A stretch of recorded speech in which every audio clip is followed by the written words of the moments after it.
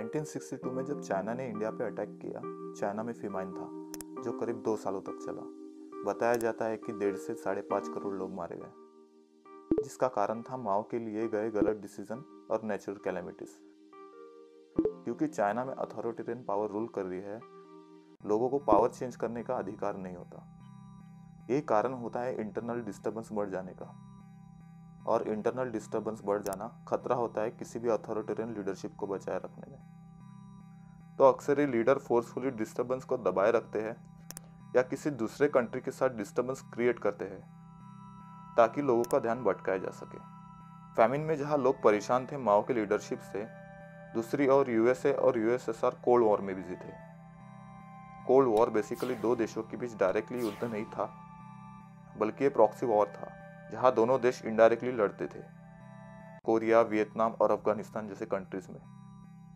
क्योंकि वॉर लड़ा गया था ideological differences arms race high military spending espionage brinkmanship brinkmanship में अक्सर कंट्रीज़ तनावपूर्ण स्थिति को लड़ाई की ओर ले जाते थे और पीछे हट जाया करते थे। यही सब चल रहा था क्यूबन मिसाइल क्राइसिस के दौरान। दुनिया बिज़ी थी क्यूबन मिसाइल क्राइसिस में। चाइना ने यही अपॉर्चुनिटी देखते हुए इंडिया पर अटैक कर दिया। अब यही देखा जा सकता है कोविड नाइन्टीन के बाद। जहाँ कोविड नाइन्टीन चाइना से शुरू हुआ और वो पैंडमिक बना, दुनिया और खुद चाइना के लोग खुश नहीं है जिस तरह से हैंडल किया गया। क्योंकि वायरस के कारण दुनिया को लॉकडाउन में जाना पड़ा, इसका बुरा इफ़ेक्ट पड़ा दुनिया भर की इकोनॉमी पर। वर्ल्ड जहाँ इकोनॉमी और हेल्थ केयर ठीक करने में ध्यान दे रही है, चाइना ने इसी को एडवांटेज देखते हुए इंडिया चाइना बॉर्डर पर टेंशन बढ़ा दिया है मिलिट्री को मोबालाइज करते हुए, ताकि वो स्ट्रेटेजिक गोल अचीव कर सके।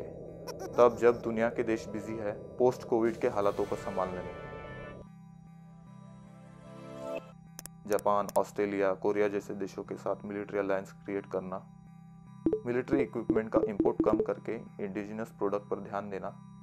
इकोनॉमिक ग्रोथ अचीव करना। ये स्टेप्स काम कर सकते हैं किसी भी चाइनीज़ अग्रेशन को कम करने में।